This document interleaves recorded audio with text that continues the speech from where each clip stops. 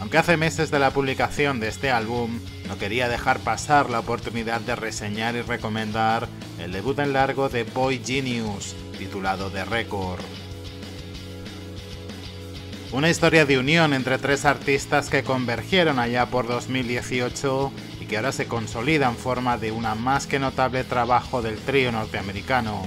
Pero antes de adentrarnos en las profundidades de The Record de Boy Genius, ¿qué tal si conocemos un poco mejor a las tres integrantes del grupo y averiguamos qué les hizo trabajar en conjunto?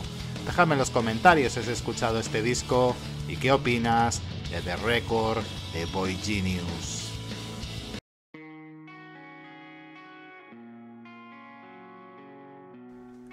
Boy Genius es un trío norteamericano formado por tres solistas llamadas Julian Baker, Phoebe Bridgers y Lucy Daysus. Empezaremos por Julian Baker. Nació el 29 de septiembre de 1995 en Memphis, Tennessee.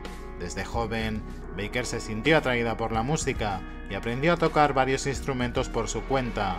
En 2015 lanzó su primer álbum en solitario, Sprained Ankle, el cual recibió elogios de la crítica y la consolidó como una prometedora artista indie.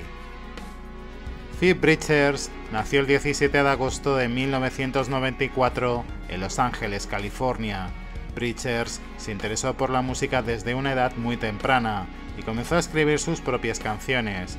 En 2017 lanzó su aclamado álbum debut, Stranger in the Alps, que le valió el reconocimiento y la catapultó como una de las voces más singulares de la escena musical actual. Y llegamos a Lucy Daysus. Nació el 2 de mayo de 1995 en Richmond, Virginia. Daysus comenzó a tocar la guitarra a los 7 años y se unió a varias bandas durante su adolescencia. En 2016 lanzó su álbum debut No Burden, que recibió elogios de la crítica y le ayudó a ganar reconocimiento en la industria musical. Boy Genius surgió como una colaboración entre Julian Baker, Phoebe Bridgers y Lucy Daysus. A pesar de ser artistas en solitario con carreras musicales prometedoras, decidieron unir fuerzas para crear algo especial. Las tres artistas se conocieron en la escena musical indie y rápidamente se dieron cuenta de la química musical que compartían. Compartieron giras y se hicieron amigas, admirando mutuamente el talento y la creatividad de cada una. A medida que su amistad se fortalecía, se dieron cuenta de que tenían una oportunidad única para crear algo maravilloso al combinar sus habilidades y estilos musicales individuales.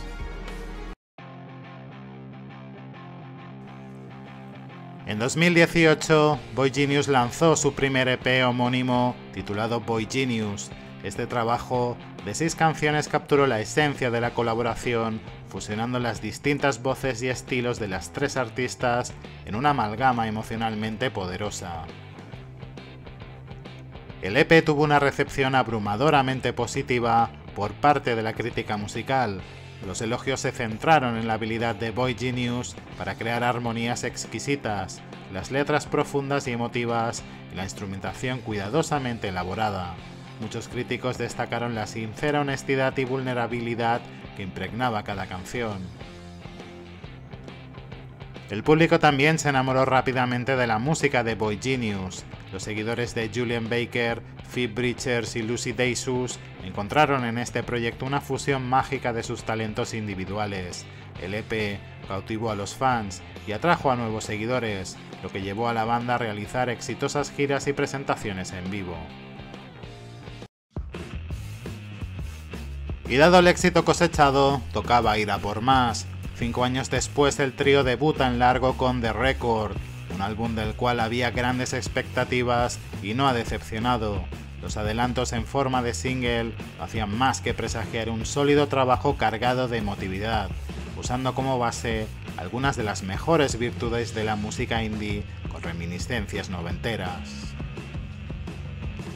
The Record consta de un total de 12 canciones, empezando con la coral Without You, Without Them. Cambiamos radicalmente de registro en 20 Dollars, donde las guitarras rugen con fuerza. Regresa la dulzura y los coros en Emily I'm Sorry.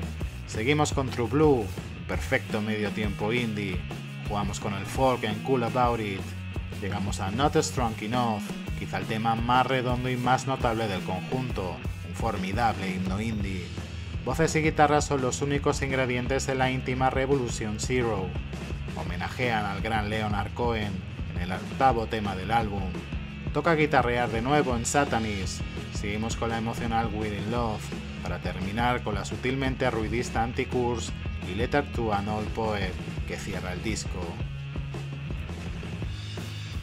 En definitiva, un notable debut en largo que demuestra que uniendo fuerzas acertaron de pleno y que The Record sienta las bases para una más que prometedora carrera en conjunto.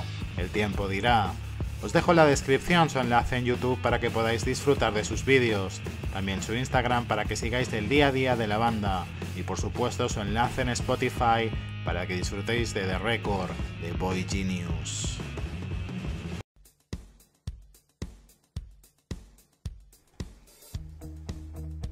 Y no me lío mucho más, den un fuerte like al vídeo si te ha gustado, suscríbete al canal si no lo estás. Y no te pierdas mis clips con mi música favorita en YouTube Shorts y nos vemos en el siguiente vídeo.